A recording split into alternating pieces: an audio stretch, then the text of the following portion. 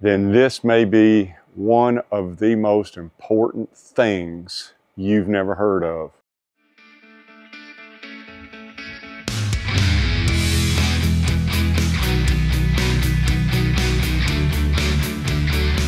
Thanks for visiting our sawmill. Hey folks, Robert Milton coming back at you with another weekly chapter of Sawing with Robert Milton at Hobby Hardwood. And this one can get really down in the weeds, and I'm not going to do that. I'm going to kind of keep it high level. But what I'm about to cover is if you saw high grade hardwood, then this may be one of the most important things you've never heard of. If you're professional or if you're a hobbyist and you're bored at night watching my YouTube videos, um, go to the NHLA website and start reading. They set the grade and the standards for every board sold professionally in the United States. The NHLA allows a considerable, a ridiculous amount of bow in a board and still meet high grade. If you're buying hardwood lumber, you don't want any bow in a board. Bows that, you know, you stick the board or you look down and it goes, looks like a McDonald's arch, right? If you're building furniture, you don't want that. If you're buying it, you don't want to it. And perhaps if you're sawing it, you don't want it, but you don't have any way to, you, you don't know what to do about it. You keep sawing wood and the boards keep coming out looking like Fritos and potato chips. Well, hopefully that's one of the reasons you watch my videos because pretty much every video that I'm sawing, you're going to hear me stress or say or harp on watching the stress while I'm sawing. And that's huge. But the other thing you got to consider is you'll always hear me say, in some species, cut the sapwood out. Get rid of the sapwood. Sapwood's no good. Burn the sapwood. Turn it into charcuterie boards. Turn it into live edge slab. It sucks. It's sapwood. So there's a word you've never heard of, maybe. Martha's driving a forklift. She's working. I'm filming. Chip's sleeping. So there's a word that you need to be aware of that you've probably never even heard of in reference to wood, because like I say, it's down in the weeds. But when you're sawing high grade hardwood, walnut, cherry, some other species, anything that has a very distinctive heartwood sapwood boundary, the word you need to know is called extractive. Extractive.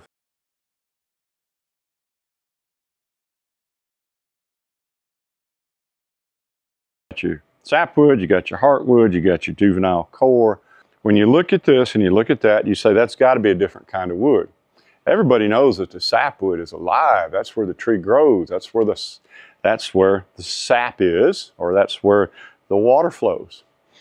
Everybody knows that the heartwood is in walnut. This is what you want if you're making furniture. It's the dead wood.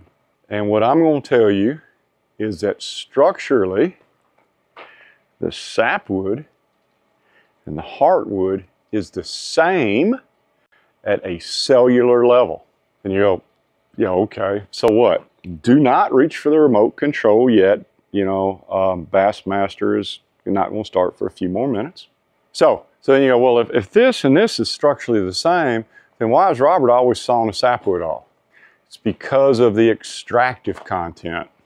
It's a fancy name for AI, you know, artificial intelligence, extractive. That was a joke. Please don't get me on that one. I couldn't help it. I still laugh at that one. Um, I'm not supposed to be political though, so I'm not going to be as the tree grows, the cell structure in this is kind of open. I mean, water's got to move and sapwood's got to do its thing, right? And as it changes from heartwood, I mean sapwood to heartwood, the heartwood fills up with a crap. That's not really crap. It's clogged with material, cannot shrink as much as the sapwood it's going to try, but it can't. So the ratio of the shrinking of the heartwood to the ratio of the shrinking of the sapwood, even though they have the exact same cellular structure, is different. All right, How many of you guys did I lose? Y'all need to go up and go to the bathroom or something? Because I feel like I do. I don't know if I got it across, but I'm going to use it. Here's an example. And I don't happen to have one real handy because I am out in the log yard. Here's how it goes. Take, take two sponges. Just go get your wife's sponges. don't tell her. Get two of them. I mean, if she's going to get pissed off, just go ahead and get two of them, right? I mean, honey, I don't know where those things went. The dog must have ate them. Let's, let's walk through the backyard. Um, take one sponge, fill it up with water. Take the other sponge and go out in the dirt and jam as much dirt and crud as you can into that sponge. I mean, I'm talking about fill that thing up with dirt till it's a block of dirt. Okay, put it in the water, take them out. Guess what's going to happen? It's probably pretty obvious at this point. The sponge that doesn't have any dirt, I mean, it's just not clogged with dirt and crud, is like the sapwood, and when it shrinks, it's going to shrink as it dries. Everything shrinks when it dries. It's going to just shrink down. The heartwood, on the other hand, or the sponge representing the heartwood, is full of dirt that you just ground into it. When it dries out, it's going to try to shrink as much as it can too, but it can't because it has dry dirt in the pores now. Those dry dirt represents extractives. So by that nature, the sponge, the sponge with extractives in it cannot shrink as much as the sponge with no extractives that is clean. And even though they have, it was the exact same sponge, or two of the exact same sponges, the, the one with no extractives is going to shrink just a little bit more than the one that's clogged up with dirt and crap that doesn't shrink. The reason it's called extractive as a broad term for everything that's in the heartwood is because using proper solvents, you can extract it. Just like you take that dirty sponge and you put it in a your wife's washing machine, try that. Tell her I said you could do that. Don't do that. Uh, she'll be mad at me. Um, put that, wash the mud out, extract the mud or the dirt, and the two sponges will start to behave almost identical. So then you got to go, well, what are these extractives in a tree? Surprisingly, in the lumber industry, depending on the species, some of the extractives that are found in the heartwood are removed on purpose because of the properties that they have that heartwood has, as in rot resistance, potentially bug resistance. I mean, you've seen cedar oil. I mean, where do you think that cedar oil came from? Plum trees? No, it's an extractive cedar trees.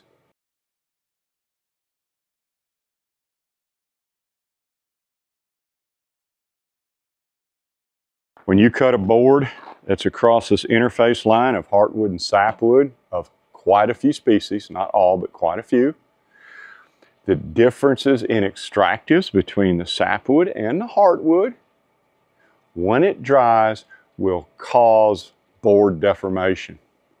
And I will go to some pictures that I took the other day, and you'll be able to see like an edge or something like that where the sapwood pulls, and that's what you've heard me call it before. It's called sapwood pull.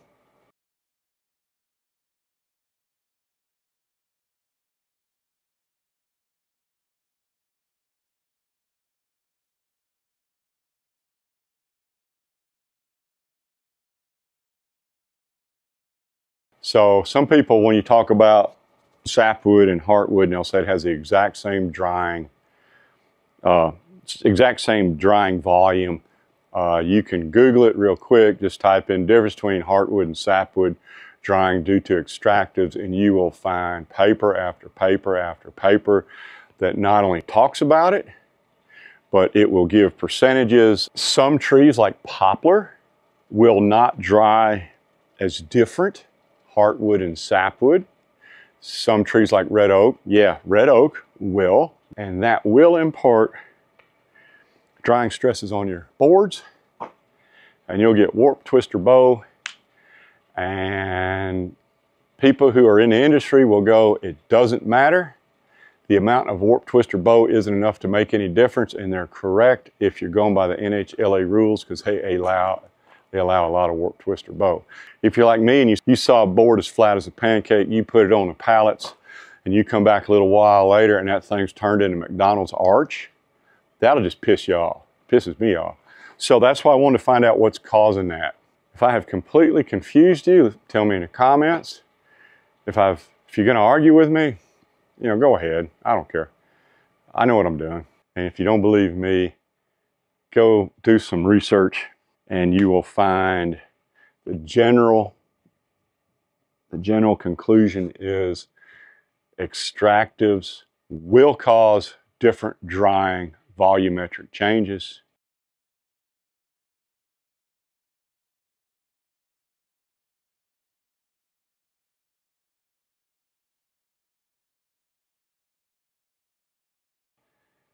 However, in some species, it doesn't matter. The other thing that you will notice as I'm sawing up some of these walnuts, um, you'll see a lot of stress in the sapwood just by itself. And on this video, I'm actually gonna cut some sapwood off and I'm gonna, I'm gonna zoom in and I'm gonna try to get that camera where it is literally watching that thing peel up like a carrot. Thanks for visiting our sawmill. Click on the links above to see more of our videos.